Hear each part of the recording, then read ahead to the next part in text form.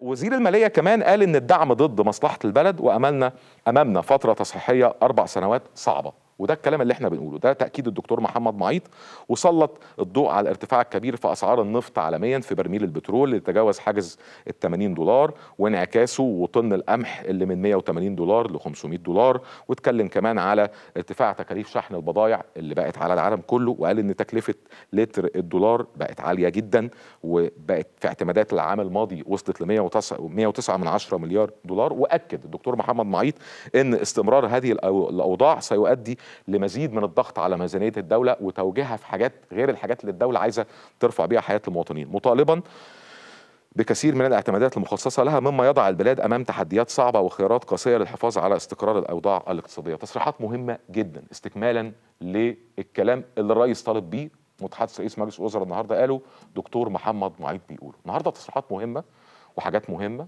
مواطن يبتدي يفكر بقى هو في إيه وهيحصل إيه والكلام إيه ورايح فين عشان نبقى عارفين الفترة الجاية هيتم إيه ومحدش يلعب بدماغنا. ناخد الكلام من المتخصصين.